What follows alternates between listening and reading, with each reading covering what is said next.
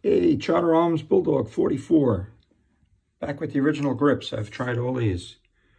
Pearl, wood, laser. This seems to work the best. These are Hornady 165s. Remingtons 246. Speed loader. Spartan Tactical on the waistband, which I just ordered. Seems to be okay so far.